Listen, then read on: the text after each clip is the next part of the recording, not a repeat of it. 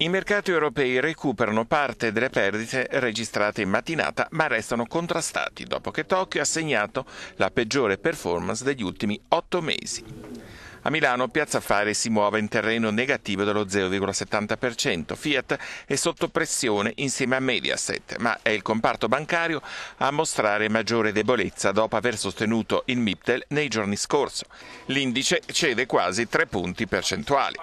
In ordine sparso le altre piazze europee, Francoforte guadagna lo 0,1%, Parigi perde lo 0,30% e Londra cede lo 0,10%.